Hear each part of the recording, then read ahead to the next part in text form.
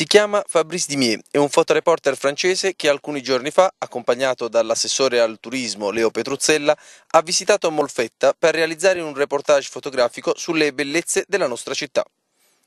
A bordo di una barca messa a disposizione dai pescatori molfettesi con la collaborazione dell'Assopesca, Dimier ha potuto realizzare numerosi scatti del centro storico e dei cantieri navali visti dal mare. Poi un giro per le strade della città vecchia, alla scoperta dei vicoli e degli scorci più suggestivi.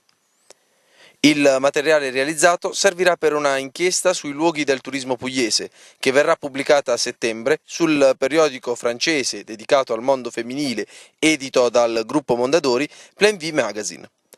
A coordinare la visita di Dimier a Molfetta è stato l'ENIT, l'ente nazionale italiano per il turismo, che favorisce le visite dei giornalisti stranieri al fine di promuovere le risorse del territorio.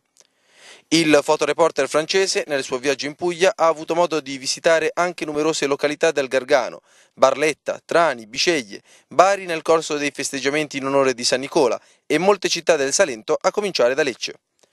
Siamo felici dell'attenzione dimostrata dall'Enit e dalla stampa estera nei confronti della nostra città, ha dichiarato Leo Petruzzella. Il nostro obiettivo è quello di fare entrare Molfetta in un circuito turistico ampio e interessante per i turisti.